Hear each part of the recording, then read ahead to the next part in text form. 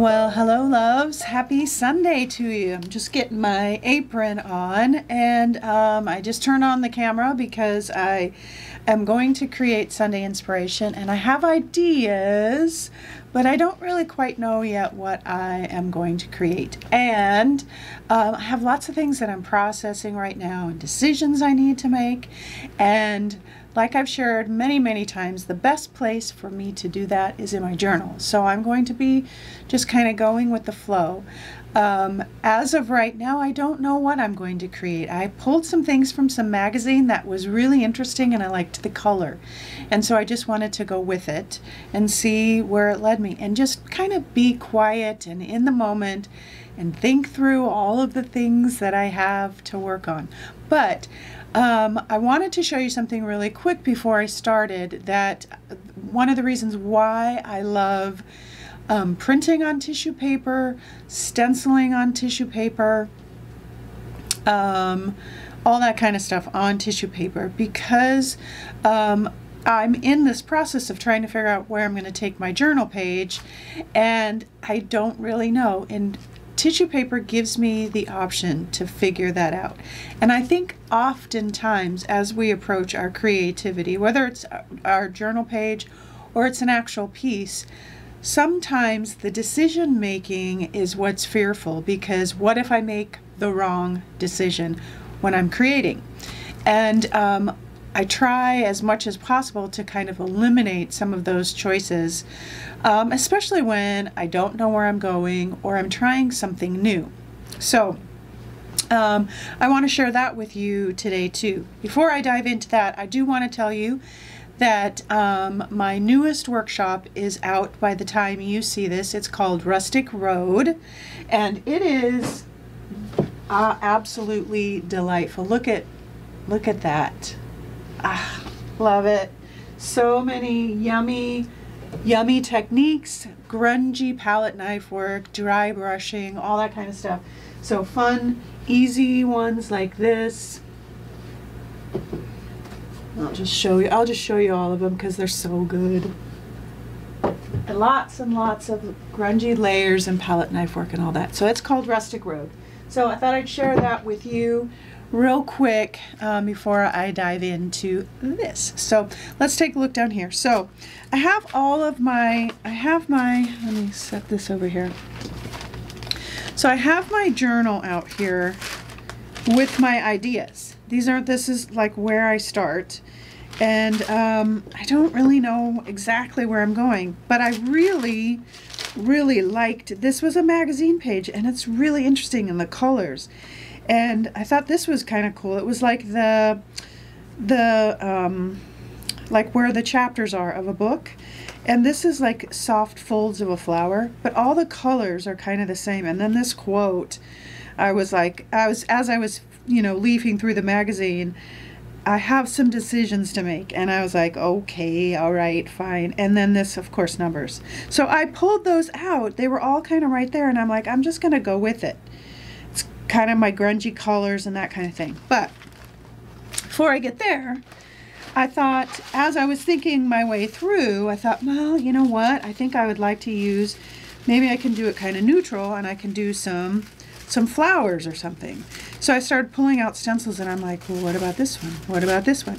It's all, every single step we take is always decision making, right? Um, so one of the reasons why I love to use stencils is because I can do this and make a decision. I can stencil, like I just did the whole thing on here. Um, because maybe I want a side view. And I can extend the I can extend the um, stem. I can add the leaves if I want. It's tissue paper. And I can arrange it just the way that I want it. But I can cut it out and kind of place it on my piece as I'm working and say, no, that doesn't work.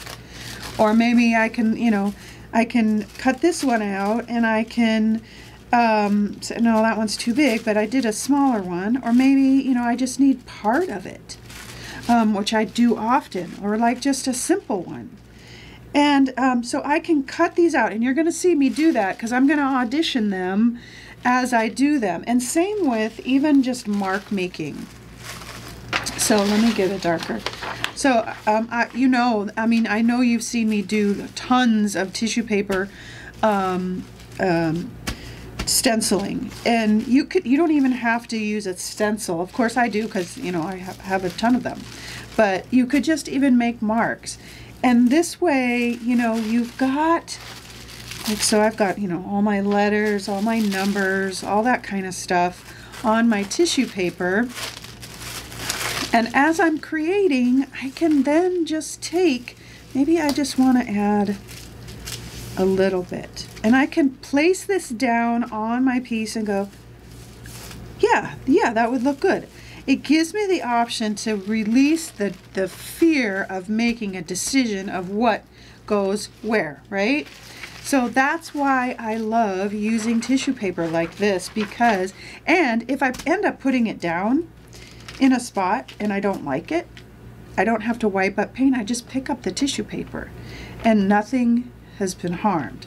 So, um, uh, and, and one of the other things too that I like, and I'm just going to do this one real quick because I mean, I'm, I'm pretty sure you've seen me do this a thousand times, but I'm just going to make sure um, so I've got my tissue paper out here and I just buy the regular tissue paper that you get for gift wrapping in the big sheets folded and I cut them down into sizes like this. I can print on them like this and then I can um, stencil on them. And um, so I usually, when I'm going to do an image, I usually will have two pieces of tissue paper for one stencil. I have some parchment paper down here so that I can kind of just lift this up and move it if I need to because um, the, the um, tissue paper can get kind of fragile. And then I use rollers when I'm doing this, partly because um, I can just go to town and make a whole bunch if I want. And this kind of gets addicting, so you end up with lots of collage paper. And then also in the process, ideas happen. So like you saw me do, or you saw, let's see, I think it was this one. This is this one and this one right here. So I'm just gonna show you. I did that one in white. I'm going to do this one in black. And I have I have my little roller containers full of black and white um, gesso. Um, and I like the gesso because it's kind of thick and it's matte. So I will just put my stencil out here. And it doesn't have to be perfect because, you know, if it doesn't work, it doesn't, if it doesn't look good, it doesn't look good. That's fine. Um, I'm not hurting anything. Um, and in the process, I'm getting ideas, I'm playing, I'm starting the creative process.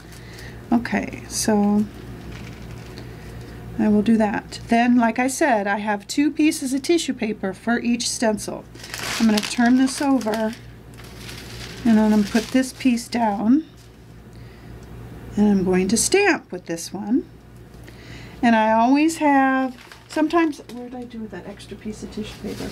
I will have an extra piece of tissue paper or cleanup paper or something to go over it because you never know what you're gonna get. Nothing goes to waste here.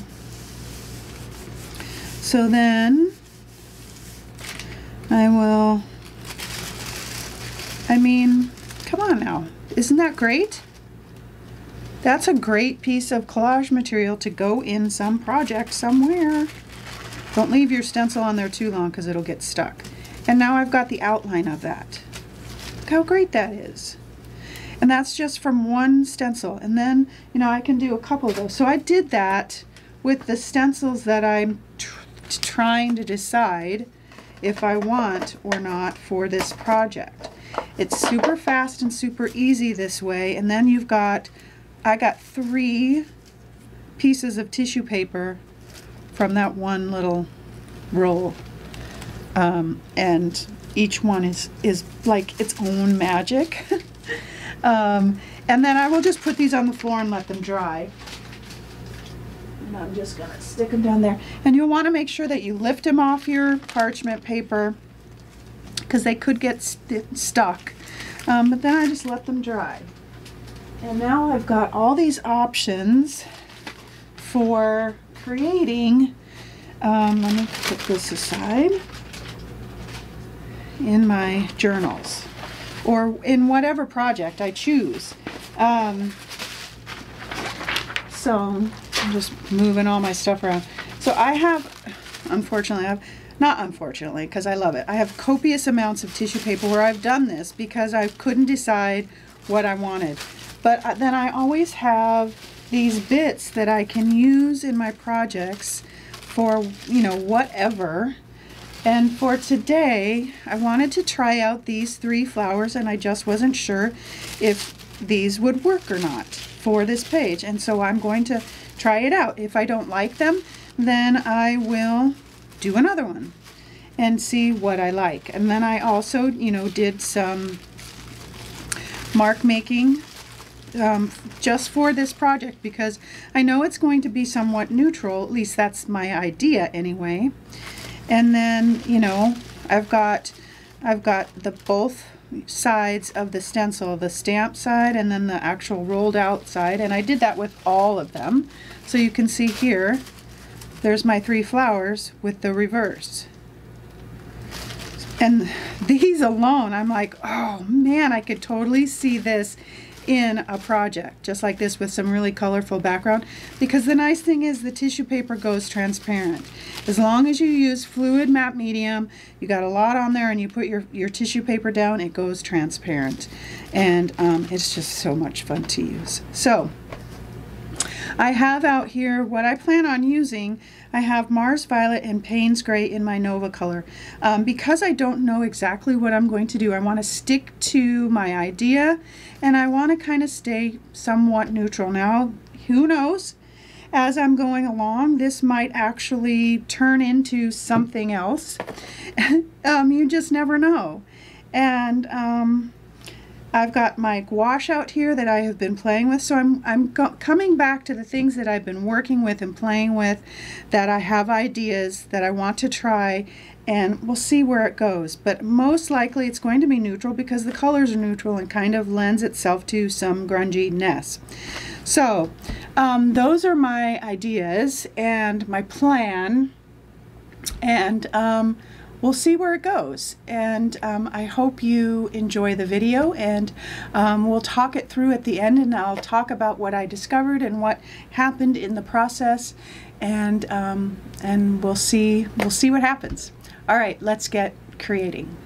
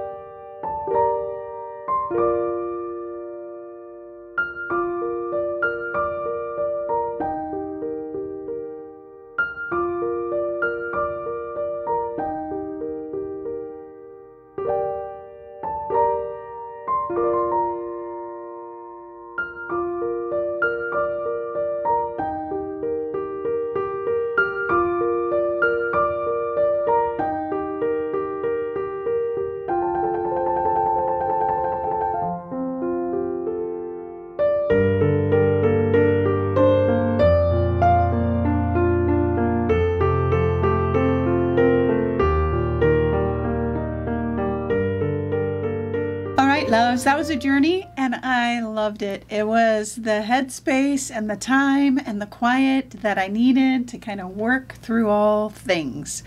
Um, I swear life's problems can be solved in these journal pages.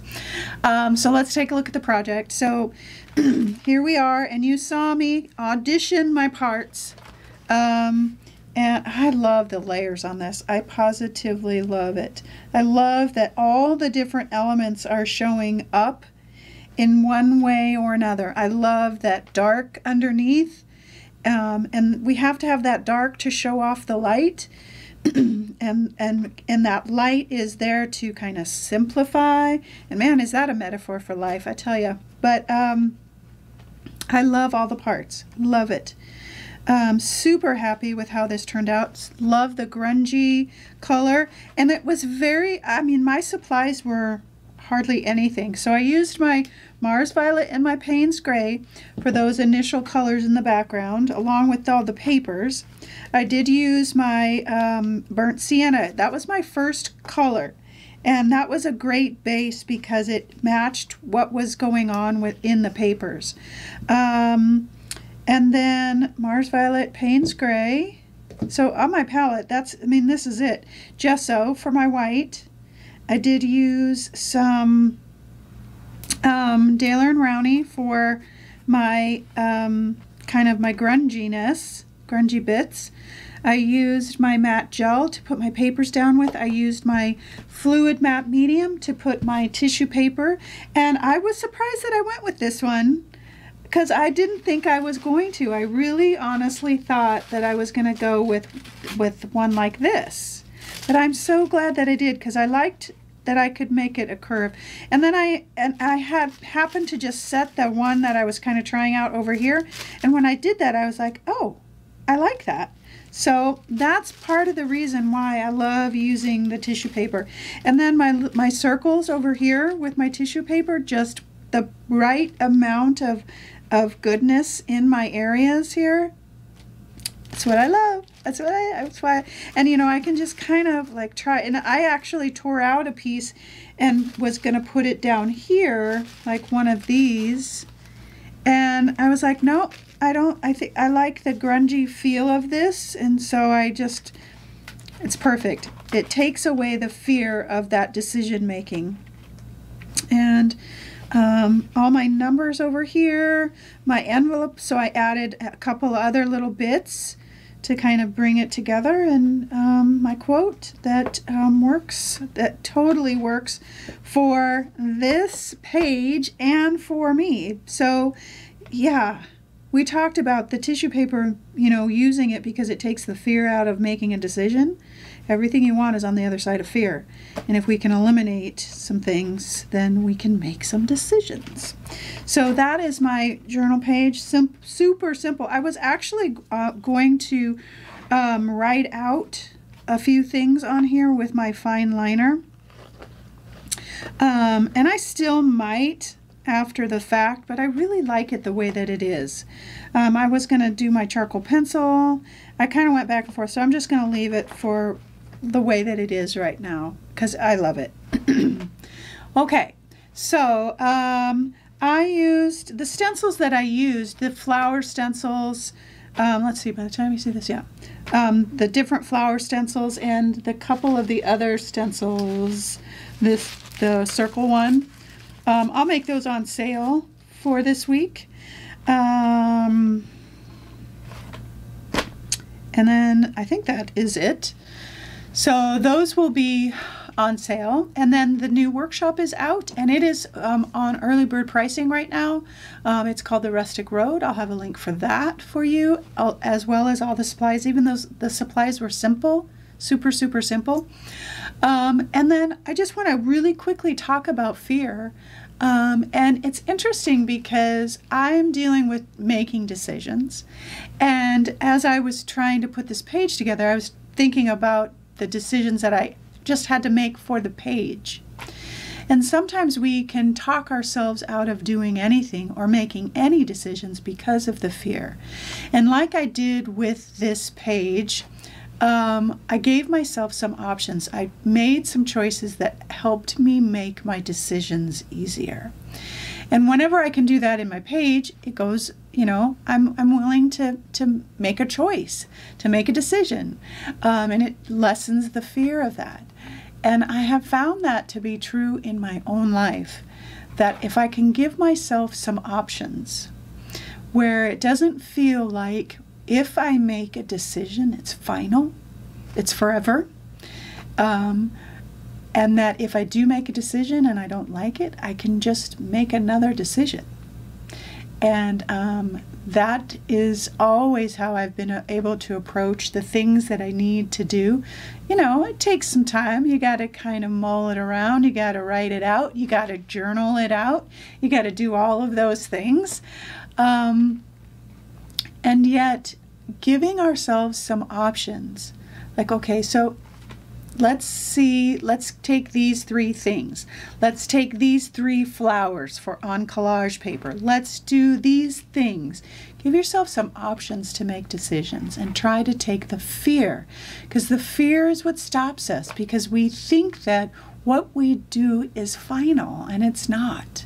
We can just choose to make another decision. Now, of course, we have to deal with the consequences of our decisions, but but most of the time, those are the times when I learn the most. And even if I liken it to our journal page, um, if I, even if I hadn't used collage paper and I had stenciled on a flower and I just positively hated it, what is the worst thing that can happen? And I know we're talking about a journal page, not life, but it's very much the same. At least that's what I've found in my own life.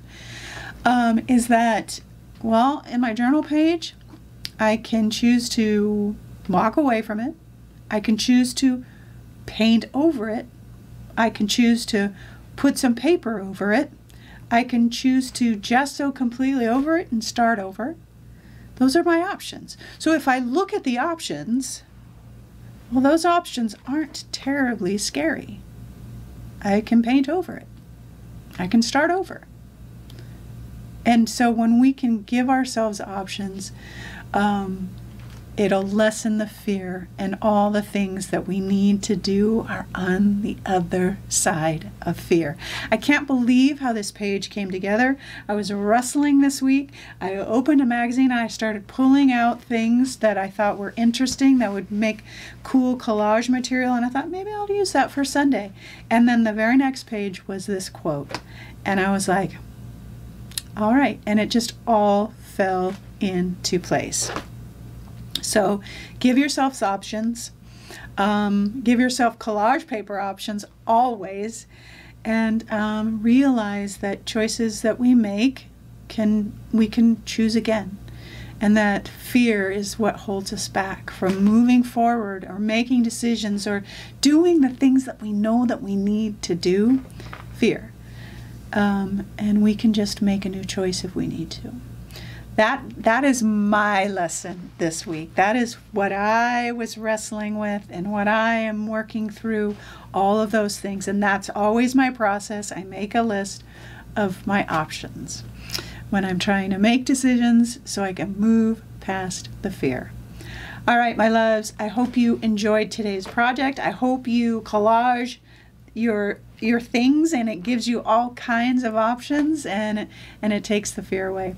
All right um, have fun with the project if you are going to create it and then um, check out the new workshop. All right my loves have a wonderful sunday and always always know that you are loved